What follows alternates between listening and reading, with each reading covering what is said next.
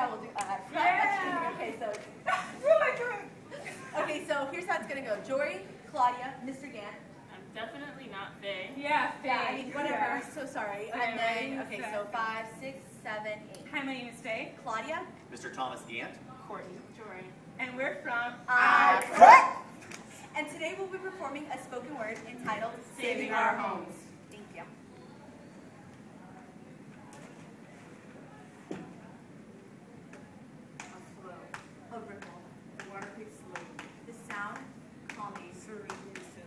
The water is free, pure, Clean, clouded, corrupted, contaminated. dirty and disgusting. From at least 24 billion gallons of sewage spilled each year, Mixed into our own drinking water and beaches. the Great Lakes Restoration Act supports 97 projects to save five Great Lakes. to facilitate the fish violated by the inferior and Lake Superior, To spare the remaining 5% of wetlands in Lake Erie. to protect, maintain, And restore.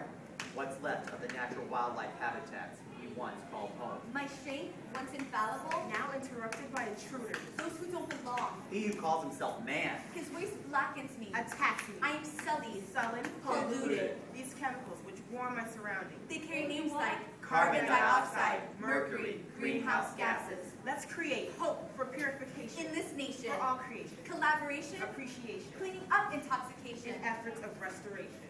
Combating invasive species. $6 million for federal agencies. We act, yet don't think about the consequences of our actions. The water has become degraded from bacteria and other pathogens.